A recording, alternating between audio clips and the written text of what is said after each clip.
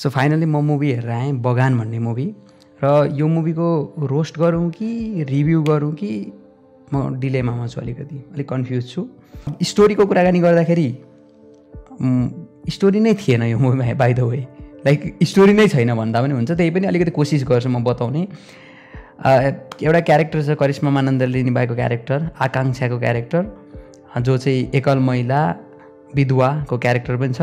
त्यस पछाडि छोरीको भूमिकामा प्रमिला कार्की उहाँको नाम प्राप्ति राखिएको छ। र त्यस गरी विजय भन्ने क्यारेक्टर चाहिँ सरोज खनालले निभाएको उहाँ निर्देशक पनि हो मुभीको। सो लगभग क्यारेक्टर मेन क्यारेक्टर यिनै तिनवटा हो। त्यस पछाडि अरू अलिअलि साइड क्यारेक्टर छ। आकाश श्रेष्ठको अलिकति क्यामियो एक्सटेन्डेड क्यामियो पनि भन्न सकिन्छ। बट त्यो क्यामियो किन थियो यो मुभीमा त्यो आफैमा अर्को प्रश्न छ। त्यही पनि क्यामियो थियो। यो मुभीको स्टोरी के? एकल महिला अनि एउटा विधवा त्यो भइसकेपछि समाजमा अगाडि कसरी बढेको भन्ने अनि छोरीले आमाको दुःख बुझेको काइन्ड अफ यस्तै यस्तै छ। मैले यो बताउन सकिरहेको छैन किनभने थिएन क्या। कहानी नै थिएन अब कसरी बताउने? सो कहानी नै नभइसकेपछि मुभी कस्तो होला भन्ने कुरा आफै अनुमान गर्न सकिन्छ। अर्को हास्यास्पद कुरा चाहिँ के हो भने यो मुभीले आफ्नो क्यारेक्टरप्रति अडियन्सले यस्तो फिल गरिदियोस् दुःख फिल गरिदियोस् पेन फिल गरिदियोस् भन्ने यति धेरै कोसिस गर्छ। तर अफसोस त्यो केही पनि फिल हुँदैन क्या। त्यो केही कुरा पनि फिल हुँदैन। त्यो स्टोरीले पनि बाँध्न सक्दैन। ती माथि क्यारेक्टरहरूले बोलेका डाइलगहरू एकदमै क्रिन्जी प्लस एकदमै डाइरेक्ट त्यो सटल्टी काहीँ पनि छैन। एकदमै डाइरेक्ट प्लस दुईवटा क्यारेक्टरहरू गफ गर्दाखेरि बोलेका डायलगहरू रियल लाइफमा पनि यसरी बोल्छन् र मान्छे भने जस्तो फिल हुन्छ। पर्टिकुलरली यो मुभीमा चाहिँ म किन सटल्टी खोजेँ भने यो मुभी अलिकति रियालिटी बेस अलिकति रियलिस्टिक सेटिङ होइन समाजको सोसियल कमेन्ट्री गर्न खोजे जस्तो सोसाइटीमा भएको कुराहरूलाई देखाउन खोजे जस्तो गर्छ। त्यो भइसकेपछि यसमा सटल्टी चाहिन्छ नुएन्स चाहिन्छ। अब यो मुभी कमेडी भइदिएको भए फ्यान्टासी भइदिएको भए सटल्टी होइन। एक्जाजेरेट क्यारेक्टरहरू अलिकति फ्यान्टासी देख्न त्यो खालको अपेक्षा हुन्थ्यो। अब यसलाई सोसियल सेटिङमा राखेको छ एउटा सोसाइटीको एकदमै ट्याबु सब्जेक्टलाई पनि उठाउन खोजे जस्तो गर्छ अनि तीमाथि एकदमै भरबोस भएर। अर्को मलाई वर्स्ट पार्ट लाग्यो भनेको एक्टरको अभिनय। अभिनय पनि कस्तो थियो भने एकदमै एक त डायलगहरू पनि त्यस्तै डाइरेक्ट डाइरेक्ट खालका त्यो सटल नभएको। अनि अर्को कुरा भनेको अभिनयमा पनि म चाहिँ अभिनय गर्नकै लागि गरेको भनेर टक्क क्यामेरा अगाडि आएपछि त्यो इमोट गर्न खोजेको कुरा चाहिँ त्यो भिजिबली देखिन्छ क्या। त्यो इमोट पनि कसरी भन्दाखेरि गर्न खोजे जस्तो देखिन्छ क्या। त्यो स्क्रिनमा आउँदाखेरि चाहिँ म एक्टिङ गर्नको लागि गर्न आँटेको भने जस्तो अनि डाइलग बोल्नको लागि कुरेर बसे जस्तो। त्यसले नेचुरल फ्लो देखिँदैन अनि त्यो नेचुरल फ्लो नभइसकेपछि त्योसँग कनेक्टै हुन सकिएन क्या क्यारेक्टरहरूसँग यो मुभीलाई अलिकति प्रोग्रेसिभ एङ्गल धेरै दिन खोजिएको छ।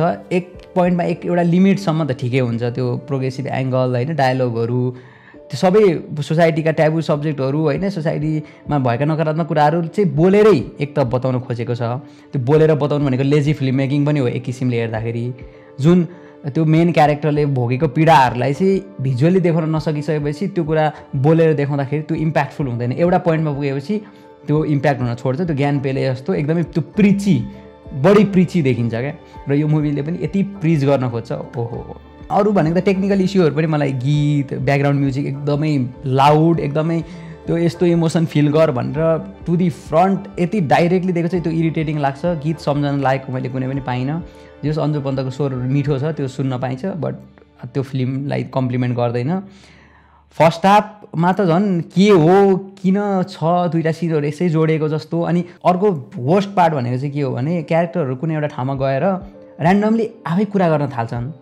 लाइक पब्लिकमा एक एक्लै क्यामेरामा पनि नहेरिकन यसै कुरा गरेको देखाइएको छ क्या? त्यो नेरेटिभ अगाडि बढाउनुको लागि डाइलगले तर त्यो पनि अनरियलिस्टिक वेमा किन त्यसो गरिरहेछन् त्यो क्यारेक्टरले कसरी बोलिरहेछन् एक्लै बोलिरहेछन् त्यो त्यो नै बुझ्न सकिँदैन। आधी उधी मुभी त त्यस्तै छ यसै बोलिरहेछन् डायलगहरू सो टेक्निकल कुराकानी गर्दाखेरि अब इनोभेटिभ क्यामेरा वर्क त्यस्तो खालको त अब मैले अपेक्षै भएन यो मुभीबाट यसै पनि। क्यारेक्टरै बबाल छ भन्ने पनि भएन ब्याकग्राउन्ड म्युजिक खतरा भन्ने पनि भएन सो यी चिजहरूमा त त्यो अपेक्षै भएन। अलिकति राम्रो कुरा गर्दाखेरि के हो भने करिश्मा मानन्दरलाई अगाडि स्क्रिनमा हेर्दाखेरि एकदमै डिजायरेबल एकदमै ब्युटिफुल देखिन्छ। इभन सरोज खनाललाई पनि एकदमै ह्यान्डसम बवाल देखिएको छ यो मुभीमा। प्रमिला कार्कीको नि त्यो ब्युटीकोमा कुनै क्वेसनै छैन। त्यो यसरी हेर्दाखेरि त्यो बवाल देखिन्छ तर अब यो कुरा चाहिँ कम्प्लिमेन्ट होइन एउटा एक्टरको लागि। एक्टरलाई ब्युटिफुल भन्नु त्यो कम्प्लिमेन्ट धेरै तलको कुरा हो। त्योभन्दा माथि त अभिनय प्लस क्यारेक्टर कसरी गरिरहेको छ उसको चोइस के छ यी सबै कुराहरू निर्भर गर्छ। कुनै पनि एउटा राम्रो स्क्रिप्टमा सरोज खनाल र करिश्मा मानन्द ल्याएर पेयर राखेर अनि एकदमै राम्रो स्टोरी लाइन लेखिएको छ भने चाहिँ र राम्रो निर्देशकले निर्देशन गरेको छ भने यो जोडीमा केमिस्ट्री देखिन सक्छ मुभीमा त्यो इम्प्याक्टफुल हुनसक्छ तर अब यो मुभीले चाहिँ त्यो गर्न सफल भएन। जस्तो अर्को एउटा वर्स्ट कुरा चाहिँ के पनि हो भने यो मुभी यति प्रोग्रेसिभ हुन खोज्छ होइन? सो महिलाको बारेमा चाहिँ अलिकति महिलाका दुःखहरू पछाडि परेका कुराहरूलाई अगाडि बढाउनु खोज्छ समाजले हेर्ने दृष्टिकोणलाई देखाउन खोज्छ यी सबै कुराहरू छ। त्यो पनि एकदमै प्रिची टोनमा जुन आफैमा एउटा सिनेमामा हेर्ने भने त्यो कुरा प्रिची भयो भने त्यो राम्रो देखिँदैन। प्लस यो मुभीले एउटातिरबाट प्रोग्रेसिभ एङ्गल ल्याउन खोज्छ अनि अर्को कुरा चाहिँ आत्महत्यालाई चाहिँ कायरताको नाम पनि दिन्छ यो मुभीले सो इट्स सो यति प्रब्लमेटिक छ नि इन इक्वल्ली म छ म भरेँ ओभरअल यो मुभी मलाई वान अफ दि वर्स्ट लाग्यो।